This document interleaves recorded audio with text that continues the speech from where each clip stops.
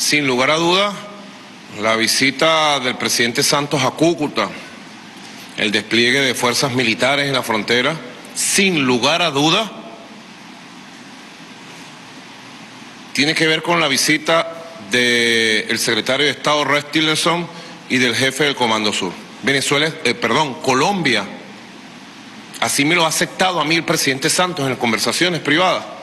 Colombia en su política exterior está subordinada a los intereses de los Estados Unidos y del imperio norteamericano. Él me lo acepta. Él dice, él me dice a mí en las reuniones, me lo dice muchas veces.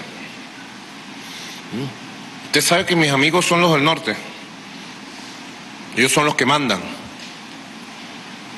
Es lamentable que un país fundado por Bolívar haya caído en manos de gente que sencillamente pone su tierra al servicio de extranjeros y de un imperio. No tengan ninguna duda que eso fue así, fue la secuencia directa. Visita de Tillerson, visita del, del jefe del Comando Sur y acción de santo. Ahora, yo pensando bien, sobre lo que Santos anunció, comencé a analizarlo con mucha seriedad. Y dije, bueno, a pesar de que los, la motivación y la causa sea infame, se le puede dar la vuelta y conseguir una oportunidad para la seguridad de la región. Y me parece que es así. Y me parece que es así porque además en Colombia, en filas militares, hay conciencia de la necesidad de paz con Venezuela. En filas militares colombianos no quieren un conflicto y no se van a prestar a un conflicto con Venezuela. Me consta firmemente que en filas militares colombianas respetan la soberanía de Venezuela. Así que por eso saludé Erika,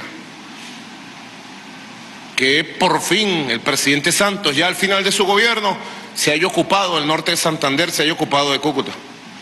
Y en su territorio desplieguen más policías, más militares, muy bien. Por eso planteé, el ministro Padrino llamó ayer al ministro Villegas de Colombia y se pusieron de acuerdo para en el fin de semana van a fijar la fecha para el encuentro binacional entre los ministros de Colombia y de Venezuela para establecer un plan de paz y seguridad para toda la región fronteriza, sobre todo del Táchira, de manera muy especial. Creo que es la forma de actuar. Nosotros tenemos un despliegue de fuerzas militares y policiales en la frontera gigantesca.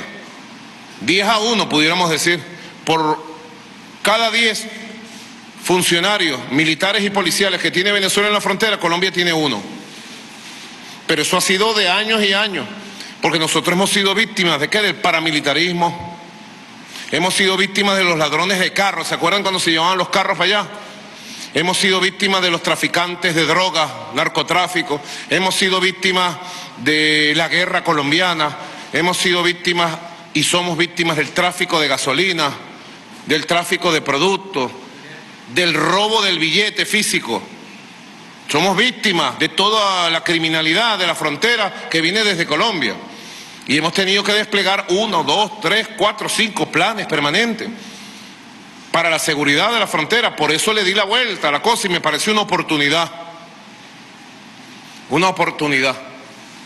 ¿Mm? Y además me parece que con un poco de sensatez, presidente Juan Manuel Santos, me dirijo a usted personalmente con un poco de sensatez, usted y yo pudiéramos ver un plan especial elaborado por nuestros ministros para incrementar la seguridad fronteriza. Usted como presidente de derecha, capitalista, ya de despedida en Colombia, y yo como presidente bolivariano, revolucionario, socialista y chavista de Venezuela.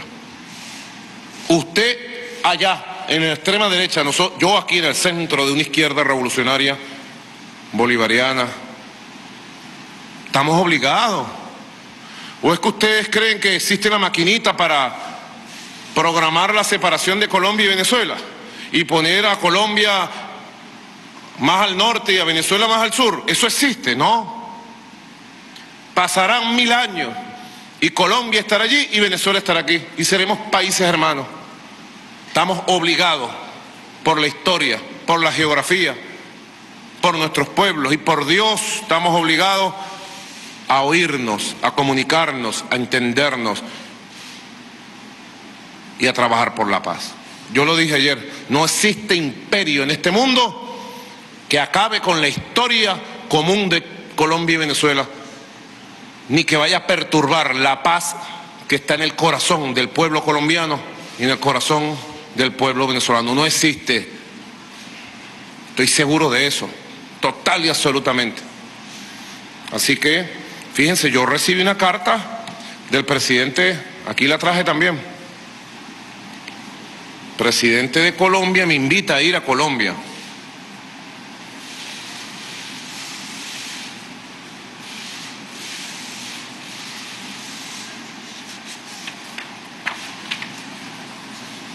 para conversar algunos temas que tienen que ver con nuestra región.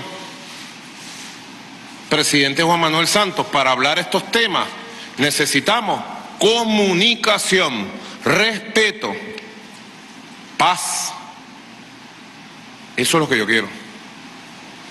Yo amo al pueblo de Colombia. Nosotros amamos a Colombia profundamente. Profundamente amamos a Colombia. Yo lo puedo decir. Yo no sé si el presidente Santos ama o no a Venezuela.